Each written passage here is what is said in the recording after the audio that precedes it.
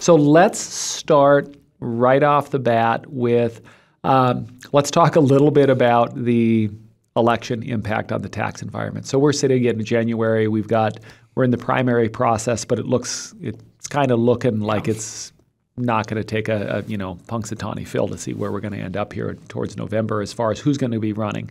Um, so let's talk about the election impact on the tax environment. Yeah, so I think every time that we are going to evaluate an election when it comes to our clients and retirement, uh, we have to evaluate it through two different lenses. Mm-hmm. The first evaluation is we have to look at the short term impact. That's really about what is this Congress and this president that we're getting ready to elect likely to do around 401ks, yeah. IRAs, taxes, retirement savings. And then the second way we have to evaluate it is okay, long term, let's take the sum total of this new Congress and president that we're electing. All of their spending, all of their legislative activity, what does that do long term to drive uh, America's economic environment, debt environment, and then because of that, tax environment. Yeah. So we've got an interesting situation. We were talking about this yeah. uh, yesterday over coffee. Um, we've got a rare situation because of the way the the way the rules are. Um, if it's if it's Trump, if it's that it get if, if that's the Republican candidate, which is looking more than likely that that's probably the case. If it's Biden, that's looking like that would be the case because mm-hmm. he's the incumbent. But we have a situation that we haven't seen in modern history, yeah. which is we would have we would we're going to end up with a lame duck president either way. How does that impact? And we didn't get to dive too far into this, but how does that how would that impact? Because they're not going to be able to be reelected. You know, it's interesting. We will have lame duck president one way or the other, but we aren't going to have lame duck parties. And yes. what I think is so interesting about this moment in history is we are really in the middle of this um, political realignment of the Democrats and the Republicans. You know, uh, recent polling has showed that Republicans are bleeding college age, college educated women, mm-hmm. uh, but Democrats are losing uh, ground with both blacks and Hispanics. So we are seeing this realignment, and we've seen it before. You know, um, all the Southern Democrats that became Republicans in the 60s and 70s, we had a realignment of the party. But because of that, even though we might have a four year, one term president coming up, uh, the parties have to flex their muscle quite yeah. a bit.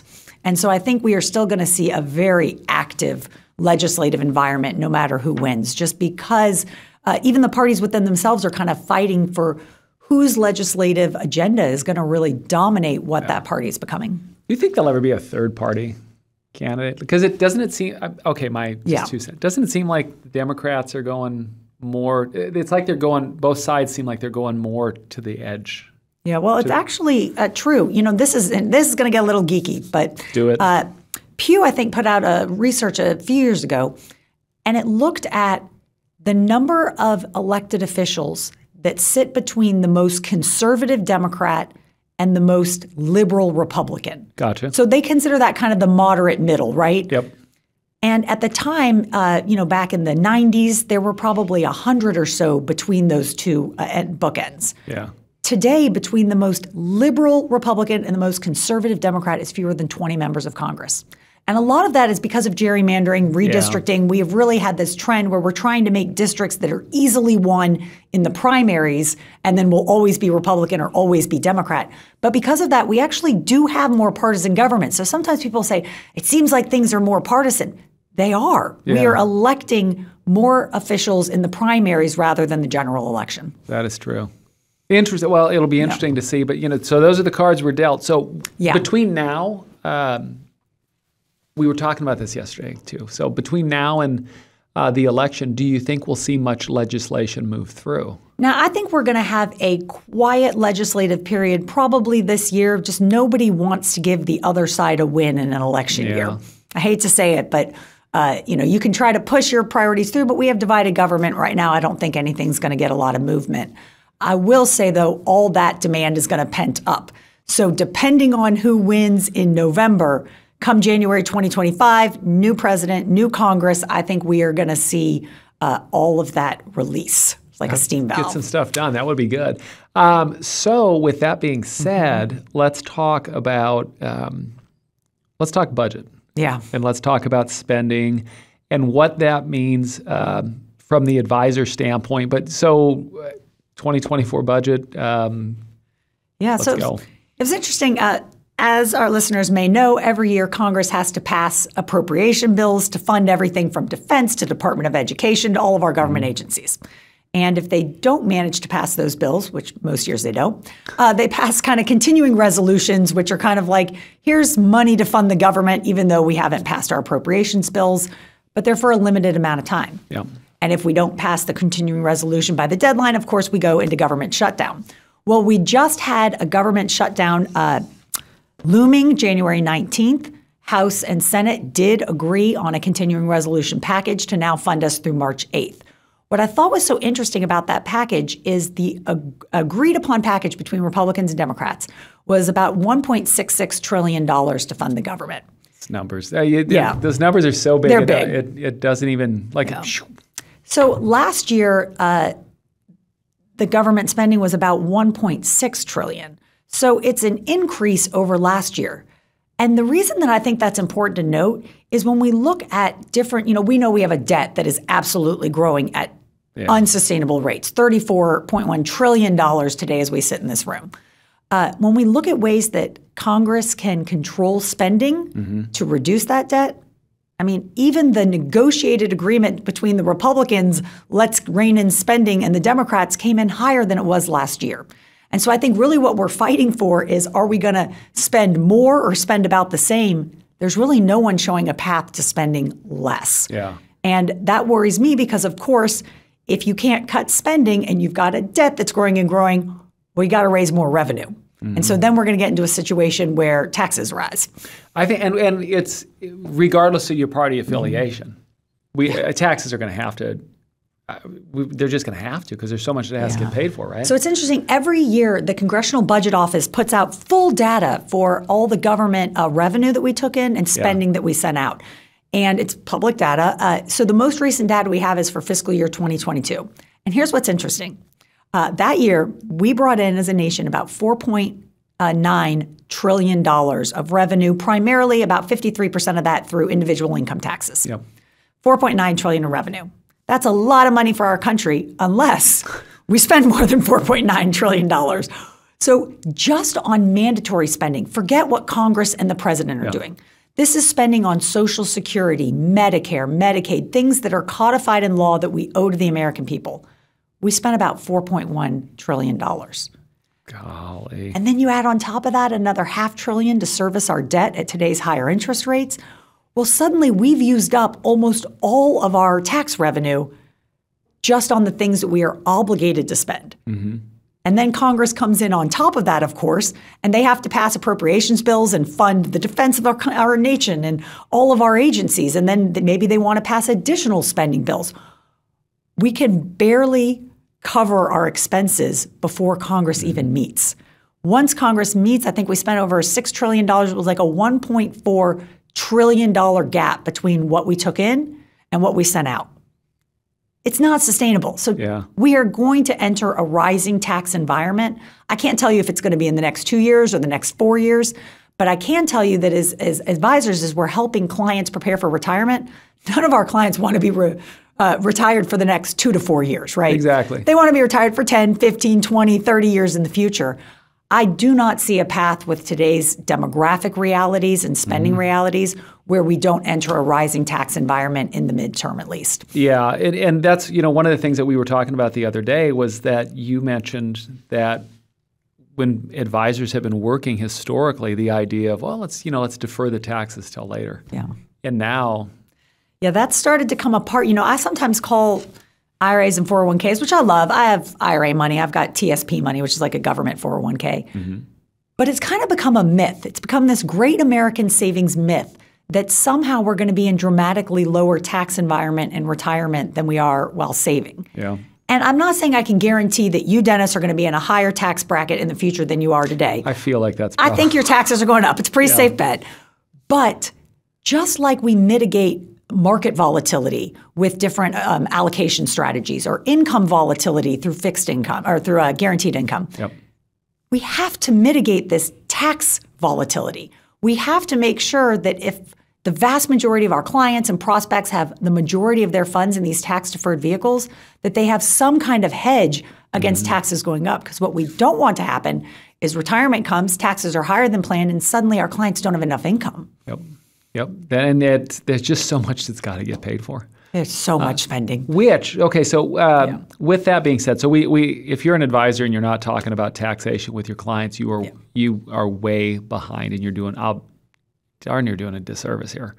Um, God, that sounded harsh. But this year is the perfect opportunity to change that. Exactly. You know what? I heard a, I heard a speaker and he said a streak begins with one. That is correct. Start today. So you mentioned the government shutdown. Mm-hmm. Um, is that just kind of a kind of a BS way to get you know the the yeah. the threat of it like oh okay well we have to pass this and let's add some more money to the to the debt is it just kind of a Weasley way of not addressing the problem? You know I think the challenge is that there's really not agreement.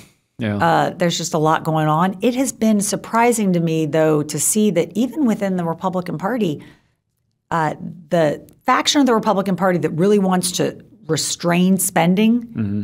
is just not the loudest dominant voice. Now they're causing yeah. some disruption in terms of passing bills, but you know if Trump uh, is our president or and is, is the uh, Republican nominee, you know his form of populism really isn't about controlling spending. It's about cutting taxes and giving you back more of your money. Yeah. But it's still kind of a spending friendly environment. Yeah. And so I think we're going to enter at least a near and midterm phase where really no one is saying, let's make sure this budget is balanced. Like the era of balanced budget may be dead for a little bit just because people want things. Yeah. And our elected officials want to give it to them. It is, you know, it is one of those things of, of um, you know, I we need to, we, people probably need to pay more taxes. Yeah. We need to pay this debt. Me? Oh, me? no, God, not, not me. me. Not me. I meant you guys. Yeah. I meant you. Even, you know, while we were sitting here, I was thinking about, um, was it like 08 when like Greece owed a ton of yeah. this? I, and I'm throwing this from left. Yeah. We, we, didn't talk about this before, but like they had they had so, so much, much debt, talking austerity, and and you know as a as like an American looking over, like yeah, you guys need to shape up, and and uh, you're just going to have to tax more.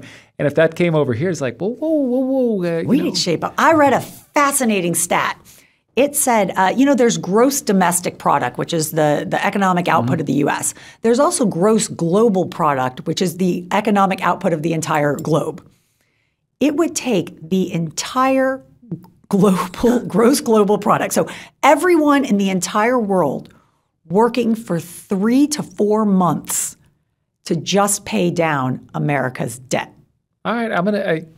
Great news. There's a solution. It. We can outsource That's it. That's right. Everybody, we, everybody except you and me. That's right. We just got to get everyone in the world. China and uh, Russia are going to love this. India too. Just every piece of economic output you have, let's just pay down our debt and we'll be fine. I think it makes sense to me.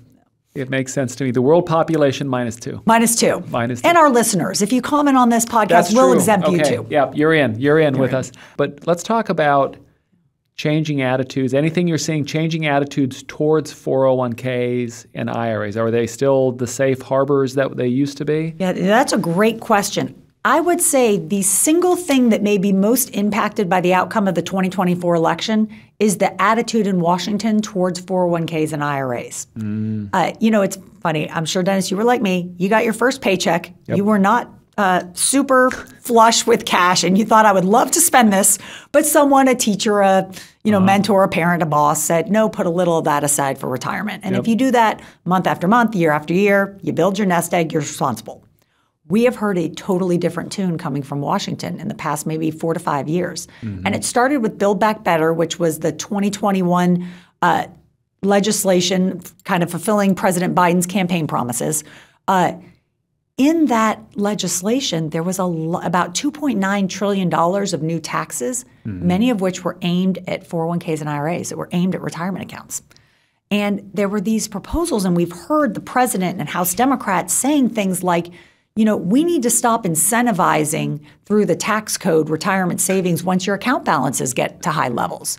So, really, what Congress is saying is hey, hold on, we want you to save for retirement, but if your account balance gets too big, yeah we're going to have to come in and we don't want to incentivize that with the tax code. And so we saw proposals that would have um, introduced new required minimum distributions applicable at any age for retirement assets that exceeded a certain government mm. set level.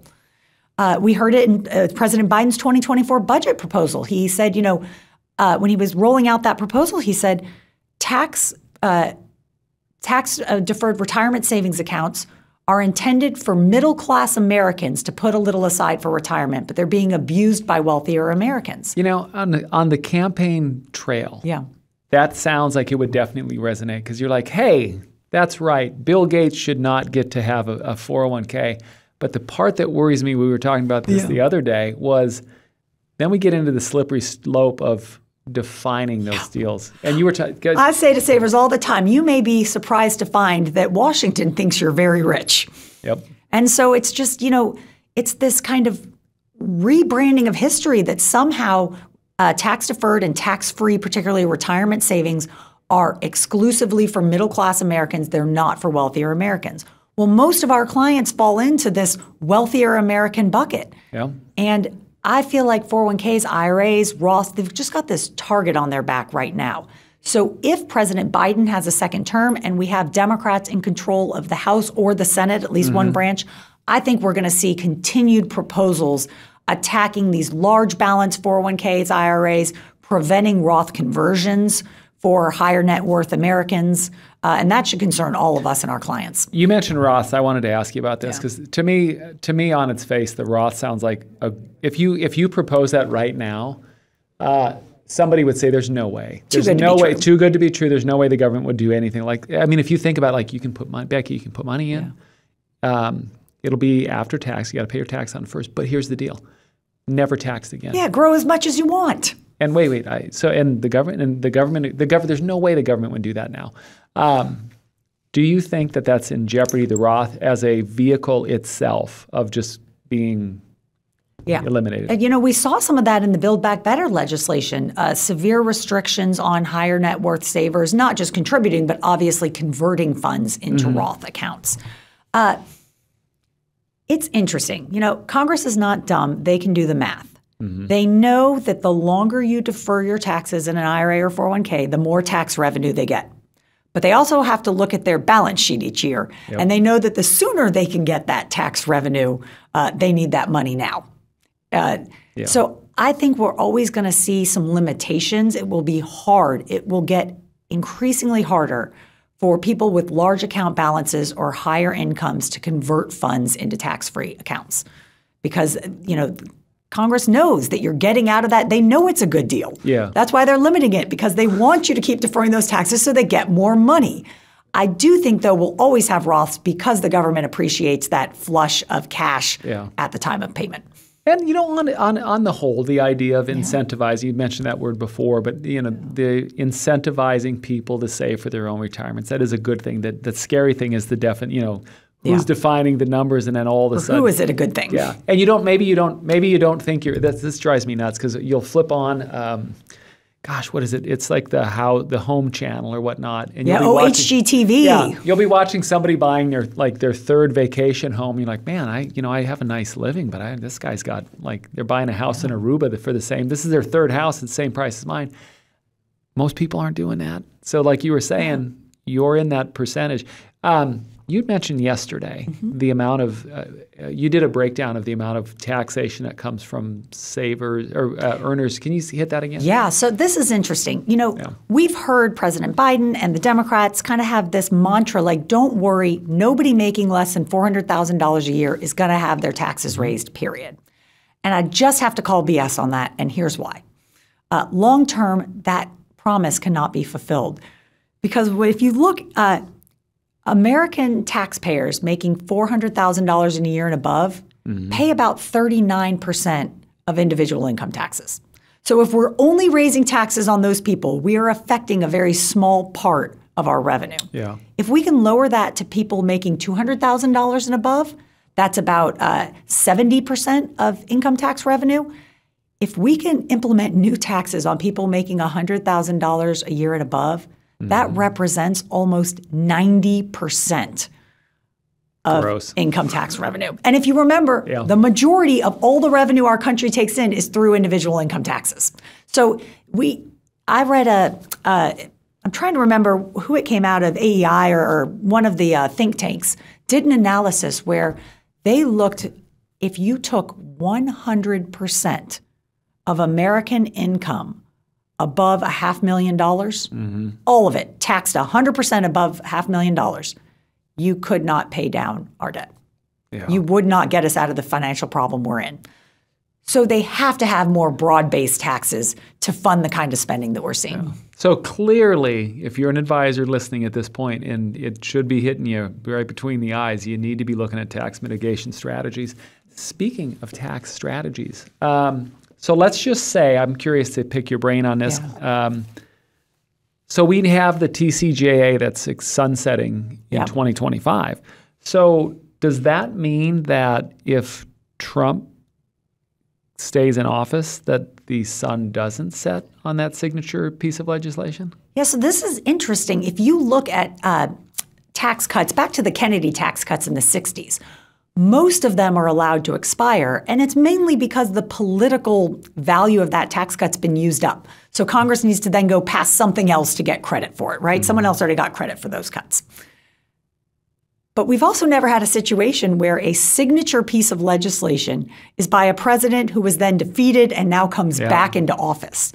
So I have to imagine if Trump is the winner uh, and Republicans have a strong hold of the House or the Senate, uh, there we're going to see them push to extend those tax cuts. Do you think they'll extend it or let it go and then come up with a snappier name? And, and uh, yeah, I think because it bears his name, we might try to extend it. But here's yeah. what's interesting. Oh, that's a, that's a good point. Yeah, I mean it's the Trump tax cuts. Yeah. They're the biggest, best tax cuts we've ever had. but I will tell you, this is interesting. Um, you know, this is where my opinion has kind of changed maybe over the last two years. Interesting. Because you know, we were really preparing in 2026, once the tax cuts expire in 2025, for taxes to rise. I was preparing mm-hmm. for my own taxes because all of our tax brackets are reverting back to those older higher rates. Mm-hmm. But there are actually two things that make up tax brackets it's the bracket rate and then the amount of income applied to that bracket in a right. progressive uh, taxation system. What's interesting is the amount of income applied to those brackets is adjusted for inflation. And 2 uh-huh. years ago, I just did not imagine the amount of rapid inflation that we have seen yep. uh, here recently. So I do think, you know, real wages tend to lag behind inflation by a few years. Mm-hmm. So we may find in 2026 our brackets are higher, but for some tranches of our clients, the amount of income applied to that bracket may be less because uh, of um. inflation. And so our real taxes may take a little bit longer to kind of readjust and back to their normal rates. The current mm. tax bracket rates are about 30% below what rates were in the 90s and early 2000s. So we're about 30% lower than kind of historical average. Uh, but there's some interesting math that will happen in 2026 if those brackets do expire. That said, long term, you know, again, uh, retirement is not about 2026, 27, 28 it's about 10, 20, 30 years yeah. in the future. So over time, we're all going to see higher taxes. All right, left field question that just Bring popped it. into my head. Uh, flat tax versus progressive. You know, I don't. I, so uh, flat tax was all the rage when I was uh, working on Capitol Hill. Uh, it is, I think, too big of a lift to try to change the U.S. taxation system. I bet because there's a, there's such a there, yeah it would be it would be massive and it would be and you forget that you change federal law, and all the states have to change state law that yeah. is tied up to federal law and how uh, we tax things federally. That's the thing out of every out of everything we're talking about with uh, with the different parts of the debt and and money that has to be raised. Um, there is no single thing. It's not like you can pull one little lever because it's such a complex system of all these different things that if you fix you just you yeah. just can't fix one thing and it, it automatically solves everything. Yeah. You've got to, these little and that's the spending problem. Yeah. You know, we can look at the bills Congress passed and say, oh, this economic stimulus bill, there's this infrastructure investment act. You know, are these we got to save money? We're spending too much, but it's drops in the bucket. The vast majority of our spending is on things that we want for our clients, Medicare and Social Security. The um, 2020 census actually showed that the percentage of our population age 65 plus is at the highest level in a century since 1880. Mm. We've had the most rapid growth in aging population. So those demographics are baked in. Now, that said, Congress is also in kind of a spendy mood. You know, we saw uh, in addition to these appropriations packages, right? $1.66 trillion just to fund the military and all the government agencies. Yep. Congress also likes to come and kind of pass some additional bills. And we've seen, uh, you know, 2020 we had 3.5 trillion in economic stimulus from the COVID pandemic. Yeah. 2021 we had another 1.2 trillion from the Infrastructure Investment and Jobs Act. 2022 we had about 740 billion dollars from the Inflation Reduction Act, which didn't much reduce inflation, but it did drive up the debt. Yeah. Uh, we're seeing every couple of years, or sometimes every year, these multi-trillion dollar spending packages. We're just getting we're just getting used to it. Yeah, I just don't think that that's changing. Yeah, that's scary. And so I think the only piece of the equation, too many old people to get mandatory spending under control, a growing debt with very high interest rates, not can't get our debt service under control. Yeah. In 2023, it was almost a full trillion dollars That's of debt service. Uh, Congress isn't going to appropriate less to the agencies in the defense of our nation, and Congress is still going to pass these big spending bills. What's left? Taxes. We got to make more money as a country. What do you think the? Uh, I, guess I should know this, but if if we were to if I if I had the the age demographic Yeah. across the across the U.S. I get a little closer, closer to the mic. But if I had that, where is that? Where is that? Uh, that those retirees like you- where are we? Yeah. When's mortality going to kick? That's terrible. But you know what I'm saying? Like when is that Yeah. bulge going to Well, that's pass all the way through? that's part of the challenge. Not are just are people living longer in retirement, but they're living healthier with higher medical expenses. Uh, so the programs, because you know, look, it's easy to say, "Oh, people are living too long," till it's your people living too long. Exactly. long. We all want Medicare to cover every intervention that they can to help keep our loved ones healthy, but there's a cost to that Huge cost at the towards the end of towards the end of life, and Medicare is is is drowning under that. Social Security is not any better. It's interesting. Every year, the Social Security trustees put out a report, and they put out a report in 2023 in August. And the second line of this report, the first line was like, Social Security is an important benefit that all Americans get to support them in retirement. The second line said, Social Security is not sustainable with current tax and benefit rates. yeah. Let me tell you, politically, we are not going to see a bunch of politicians saying, you know what, Dennis, we're going to give you less Social Security. Sorry, we can't deliver that whole Social Security check. So I think taxes have got to go up on it. That is, you know what, that is a tough one because you, if you could look at it dispassionately mm-hmm. and you looked at the data and you'd be like, okay, um, people are living longer in retirement, people are healthier, and re- they're able to do these things. So, I mean, obviously, we should move maybe the retirement age back. Uh, to a little long because people are living longer, and uh, you know what? There's this much dollars. There's that many people. We're going to have to Yeah. bring it down just a little bit. That un- logically that makes sense until you say like, but I'm talking about you. Oh, the hell you're not. Oh, I don't want to work till I'm 82. Thank you. Yeah. So I just think right now, you know, it's not just knowing what's happening in Washington with spending and with these attitudes. It's really how do we communicate that to our clients. Yep. Uh, and this 2024, because of the election, it's just given us a great environment to educate into. And you know, it's interesting at Stonewood, we test a lot of different messaging. Yeah, let's talk about that. Yeah, one of the top converting messages right now is Will the 2024 election impact your retirement? And I think it converts so well for a couple of reasons. One, it's about something that is on everyone's mind. Yep. Two, uh, people don't know the answer to that. I don't know how to evaluate this election that I'm worried about if it impacts me and Yeah. my retirement. And the good thing as an advisor, you as an advisor, you know the answer to that. The You answer do. is yes. And that's across the, third board. piece is Yeah. they need your help to answer it and Yep. do something about it. And so, uh, you know, I know a lot of advisors have already incorporated kind of taxes and tax messaging into Mm-hmm. their practice. It's not just talking about taxes. It's really bringing up taxes as this new risk class Absolutely. that we have to hedge against. Look, we are hedged against market risk, we are hedged against income risk. We have to make sure you have some diversification in your Mm-hmm. portfolio to be hedged against tax risk, or else we are leaving you fully exposed to the whims of Washington. Yeah, I love I the way you all approach and the way you educate because down that way in that room we've got uh, you know, when we host these 20 all the advisors, time. yeah. and we're going through and the book, everything you all do, it is a it is an approach that is different uh, than what I've seen, and it's great and it's so timely. So let's okay. So let's talk about a couple last okay. things here. We'll we'll we'll land this plane. Um, so uh, as you look, what what are you watching?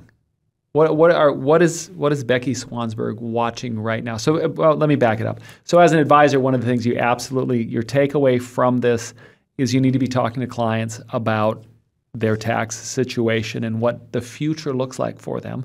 Uh, you need to be looking at tax mitigation strategies, and it's a great way to leverage the opportunity yeah. to get in front of people. That being said, Becky, let's put the punks, yep. Punxsutawney Phil hat on. Mm-hmm. I'm saying this for Russ in the studio because he loves when I say that because I say it all the time. Um, what are you watching specifically? The number one thing I'm watching is overall spending. Year by year, what are we spending as a country? Because mm-hmm. I think that is the top indicator of over time where taxes need to go. And I want to be clear, it may not always be the individual income tax. Uh, we tend to think about taxes and retirement as like, what's our tax bracket on this income we're pulling out? Mm-hmm. But there are a mm-hmm. lot of levers Congress could sp- uh, pull. Uh, Social Security right now is only taxable up to 85%. Well, that's going to happen. That's only been since the 90s. It was taxable at 50% in the 80s and not taxable before that. Congress pass a new law tomorrow, make it all taxable. Mm-hmm. Uh, it's not just about the level of taxation in terms of your tax bracket. It's about the structure of taxation. What is taxed? When is it taxed? Who is it taxed? And how, for and how is it taxed? Mm-hmm. We saw that in the Secure Act with the stretch IRA being eliminated for most inherited IRAs. Yeah. Suddenly now you got to pay those taxes in 10 years. They didn't change the inheritor's tax bracket, but they sure changed their tax burden yeah. when accessing those funds. So uh, I think we have to watch. Congress is going to get creative. And just because brackets aren't changing doesn't mean that our clients aren't incurring higher total taxes. And they don't care about their bracket. They care about how much yeah. money is in their wallet. Now, you said something, uh, and I've heard you say it before. You've got a couple phrases that I absolutely love. Uh, one of them has to do with uh, how tax law is written. Oh, yeah. The tax law is written in pencil. Yes. I think one of the wildest things in IRAs, 401ks, all tax deferred savings is like you come into these savings approaches with this bet that your taxes are going to be lower in the future yeah. than they are today. But we forget that every piece of tax code is written in pencil. Yep. None of this is in permanent marker. And the tax code you started saving under is almost guaranteed not to be identical to the tax code you retire under. Yep. We're just hoping they don't erase a part that impacts us.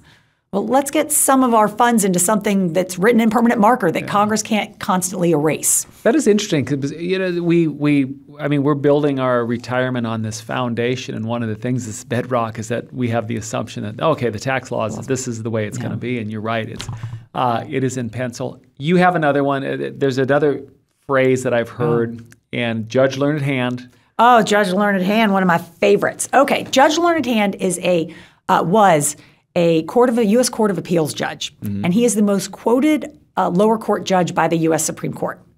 And some people think it's because he's smart. I think it's because he is witty. And he has a quote that I absolutely love, and this is his quote. He says, uh, There are two systems of taxation in this country one for the informed and one for the uninformed. Yep.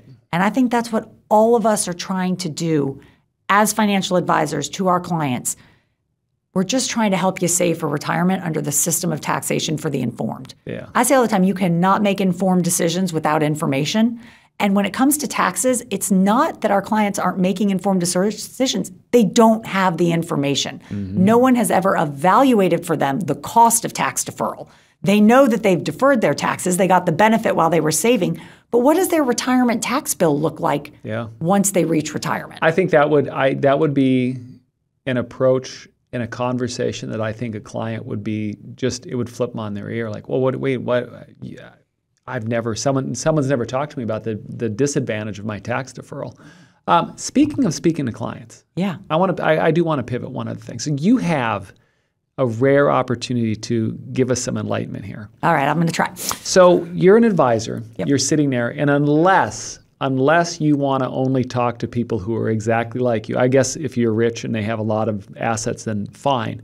But you know, we're so we're polarized. Mm-hmm. It's such it, you know, politics used to be like something no one talked about, and now it's like the number one topic. Yeah, for, I, who cares? But anyway, how do you, any advice that you have for advisors and having conversations? because they're going to have to have conversations about this. But so much of what we're talking about is not partisan. It's just like tax facts here. Yeah, that's a great question. I have advisors ask me all the time, like, how do I talk about the election without being political? Yes, yes, like, I don't yes. want to offend my client by bashing Biden or Trump. Like, what do I do? And I want to assure everybody listening the thing that causes legislative risk and tax risk in our clients' retirement approach has nothing to do with Republicans or Democrats. In a way, it doesn't matter who's in the White House come January. What is driving that volatility and that instability is the fact that we have two year election cycles here in America. So every two years, we have new government, which is pretty wild. But that means that it doesn't matter if the person you absolutely love, that you know will protect your retirement, wins in two years, because what happens two years after that, and two years after that, and two years after that? Yep. We cannot predict the next 10 to 15 election cycles. No one can. The best political commentator has no clue what's happening 30 years from now in the political landscape. Yeah. And so, unless we've helped our clients protect a portion of their retirement assets from these changes from Washington, every two years they're going to have to have this anxiety of just hoping that we get a good president and a good Congress that doesn't come after their retirement assets. And, that's too much stress. Yeah, yeah, absolutely. It's it's like uh, I think you have an analogy around 401ks that I love. It's, It's- oh, about uh, Yes, about this, I think business I- owners. Okay, so is- so yeah. I want to pause you before you say it.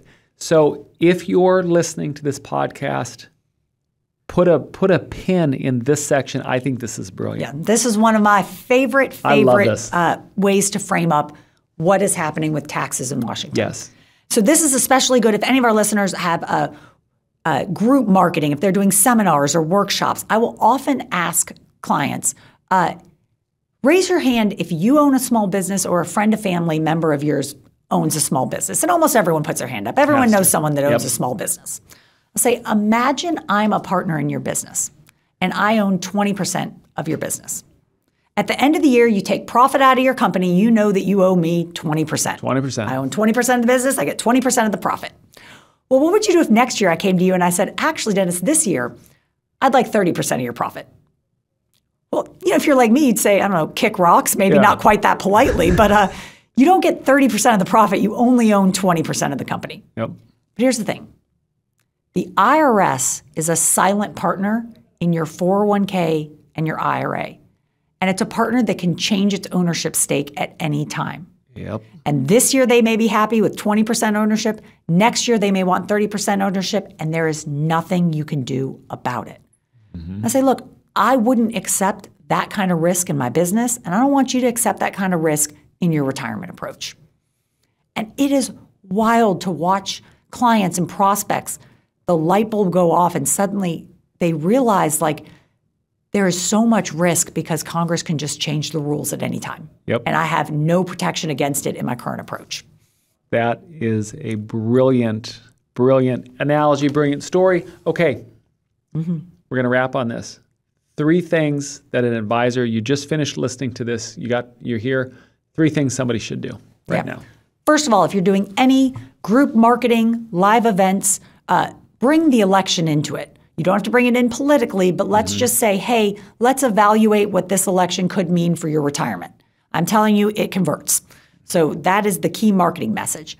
The second is don't forget your existing book of business. So if you ah. have clients that you manage their funds or you've helped them with an annuity, but you haven't done any kind of tax conversation with them, this year with the election is a great opportunity to say, hey, so glad I could help you mitigate market risk and income risk. Let's complete that approach with some mitigation of tax risk. Love it. So work that book of business. And number three is do not be afraid to just make taxes part of every conversation. The worst that can happen is someone tells you, I don't mind the level of taxes I'm paying. But I will tell you that um, it's not enough just to say taxes are bad. We've got to be able to have, uh, analyze them for clients to be able to say, you might not realize you have this huge tax bill coming due in retirement. You got to do something about it. And let's do something about it now before it gets worse, because heaven knows what's coming our way in January. And you've got to, and you've got to have the education. Yep.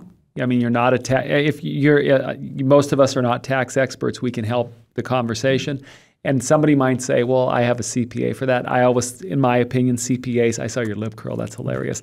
Uh, CPA, no, I love CPAs. CPAs to me, are, they're like chroniclers of the past. Yeah. CPAs are very good at a micro approach to taxes of saying, yep. how do we mitigate taxes this year?